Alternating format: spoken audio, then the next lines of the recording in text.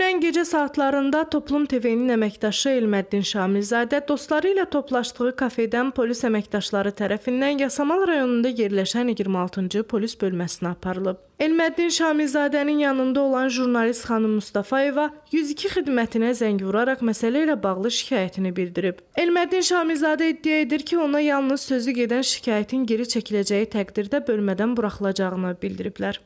Hadisə yerində olan digər jurnalist Əminə Məmmədova peşə fəaliyyətini yerinə yetirərkən zorakılığa məruz qalıb və polis əməkdaşları tərəfindən telefonu əlindən alınıb. Hadisə yerinə o an gələn Portağal Media xəbər kanalının rəhbəri jurnalist Nurlan Qəhrəmanlı isə öz növbəsində məsələyə etirazını bildirib. Hadisə şahidləri və Nurlan Qəhrəmanlı bildirir ki, bu etirazından sonra onu sürüyərək bölmənin içərisinə aparıblar və orada fiziki zorakılığa məruz qoyub üstəgəl təhqir ediblər. Bir neçə müddət sonra isə Əminə Məmmədovanın telefonunu geri verib Nurlan Qəhrəmanlı və Elməddin Şamilzadəyə cərimə yazaraq bölmədən çıxışlarına icazə veriblər. Təfərrüatlar video reportajda.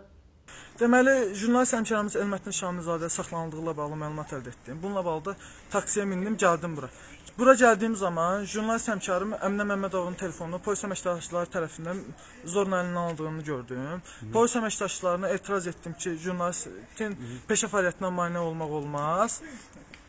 Və e, bunlar video çəkəcəyimi bildirdim ki, geri qaytarın. Polis əməkdaşları 3 dənə serjant konkret. Məni yerdə sürüyə-sürüyə saldılar polis bölməsinə, növbətçisi ilə üzbəüz otaqda. Məni döydülər yerdə, nalayiq söyüşlərlə təhqir etdilər məni.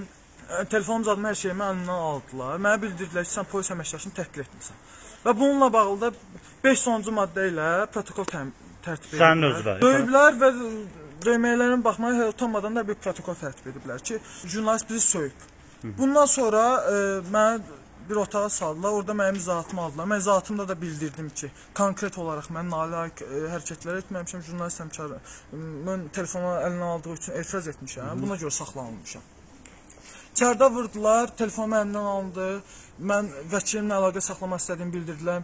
İcazə vermədilər. Mülki polis xidmətinə müraciət etmək istədiyim dedim, icazə vermədilər. E, Daxili İşlər Nazirliyinin mətbuat xidmətinə Bununla bağlı şikayət edəcəyimi bildirdim. Ona da icazə vermədilər. Heç nə konkret olaraq icazə verilmədi. Şəxsiyyət vəsiqə məmnun oldu. Zorla protokol tələb elədim, aldım. Protokolda yazılan maddə 5-10-cu maddədir. 5-10-cu maddə ilə də yalnız məhkəmə e, vətəndaşa e, qərar çıxarda bilər, hökm çıxarda bilər. Polisin belə bir səlahiyyəti yoxdur ki, 5-10-cu maddə ilə öz-özündən kiməsə cərimə yazsın. 50 manat cərimələnmişəm. Səhəsi reportyorların sonuncu e, hesabatında da Azərbaycan 167-ci ildə yerdə göstərilir. Polis əməkdaşları sistematik olaraq jurnalistlərə qarşı təqib və təzyiqlər edirlər. Dəfələrlə baş verir bu. Birinci dəfə də deyil, axırıncı dəfə də deyil. Demək olar hər ay biz saxlanılırıq polis əməkdaşları tərəfindən. Hər dəfə bir bəhanə gətirirlər. Gah karantin rejim qaydalarını pozuruq, gah küçədə ünvansız söyüş söyürük, gah nə bilim vətəndaşlar provokasiya çəkir. Yəni keflərə nə istədi yazırlar. Həmkarım Elmətli Şamilzadə saxlanılmışdı. Saxlanılmağınla bağlı bir məlumatımız yoxdur və mən də narahat olduğum üçün gəlmişdim. Elməddinin də gözün qabağında elə məni içəri döydülər. Təxmini ə, 11 radələri idi. Mən İslam Səfərli küçəsində olan barların birində idim. Polis əməkdaşları ə, yaxınlaşdı. Biz bu küçədə oturmuşduq. Bizə bildirdilər ki, bəs burada niyə kütləvi toplaşmısınız falan. Biz bu ki kütləvi toplaşmağımızla bağlı öz fikirlərimizi bildirəndə artıq bizə dedilər ki, siz polis bölməsinə yaxınlaşmalısınız. Məni saxladılar və polis maşınına otuzdurdular. Mən bildirəndə ki, bəs səbəb nədir? Dedilər ki, bölmədə aydınlaşdırarıq. Sonra bölməyə yaxınlaşdıq. Artıq mənim həmkarlarım və dostlarım bununla bağlı 102 xidmətinə şikayət eləmişdilər. Mənə dedilər ki, əgər sən buradan buraxılmaq istəyirsənsə, dostlarına de ki, 102 xidmətdə olan şikayəti geri çəksinlər. Mən də dedim ki, yox, belə bir hadisə baş verməyəcəkdir. Onlar geri çəkməyəcəklər və onlar tələb elədilər ki, əgər elədirsə, onda biz səni buraxmırıq.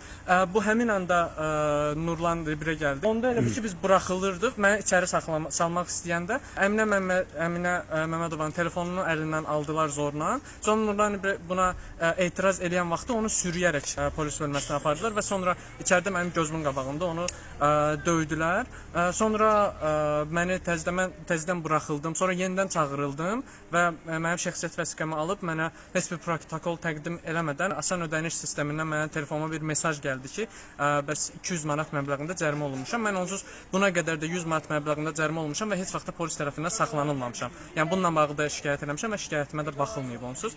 Yəni ondan sonrakı vəziyyət də budur. Elmədini bura gətirəndə ə, mən ə, gəldim bura, həm ə, bir jurnalist həmkarım problemini işıqlandırmaq üçün. Ə, gəldim canlı yayım açmaq istəyəndə gördüm konflikt var. Çünki 102-yə zəng eləyibdi ə, xanım Mustafayeva, amma polislər deyir ki, əgər 102-yə zəng eləyib şikayətinizi geri götürməsəniz, Elmədini buraxmırıq. Biz də et- biz də deyəndə ə, xanım etiraz edirdi buna. Mən də bu konflikti çəkmək istirdim. Həmin vaxtda polis gəldi, mənim telefonumu əlimdən çox zoraki bir şəkildə aldı. E, elə bu vaxtda Nurlan taksidən düşdü. Çöndüm dedim ki, telefonumu əlimdən al. Orada dedi ki, nə baş verib? Niyə telefonunu almısınız bu qızın əlindən? E, onda da onu dedilər ki, siz mənlə belə danışa bilməzsiniz dedilər. E, Nurlan döyə-döyə saldılar içəri. Çox sonra həmin telefonu artıq gətirdilər. Dedilər ki, e, telefondakı materialları silin ki, sizə verək telefonu. Mən də dedim ki, yox, əgər materialların silməsini. Dedilər ki, olmaz, qadağandır, bura polis bölməsi düşə bilməz. Mən dedim ki, yaxşı, qadağandırsa əgər bunu məhkəməyə verin ki, bizə məhkəmədə araşdıraq. Əgər məhkəmənin qərarı olsa mən silərəm. Ə, onu dedilər ki, yaxşı, çox özümə də qəribə gəldi. Adətən belə davranmırlar. Dedilər ki, yaxşı, ə, telefonu götür çıx. Daha sonra Elməddini yerindən içəri çağırdılar. Bu vaxt Nurlanın içəridən səsləri gəlirdi. Nurlanı döyürdülər içəridə. Mən qışqırdım ki, gördüm qapı açılır orada. Qışqırıram ki, Nurlan sənin nəsə olub? Nurlanın içəridə qışqırıq səsləri gəlir. Telefonla danışa-danışa bir dənə polis gəlir. O deyir ki, yaxşı elədik döydük. Belə mənə söz atır ə, ə, çıxdı. Yəni özləri də əslində etiraf etdilər ki, döymüşük içəridən Nurlanı.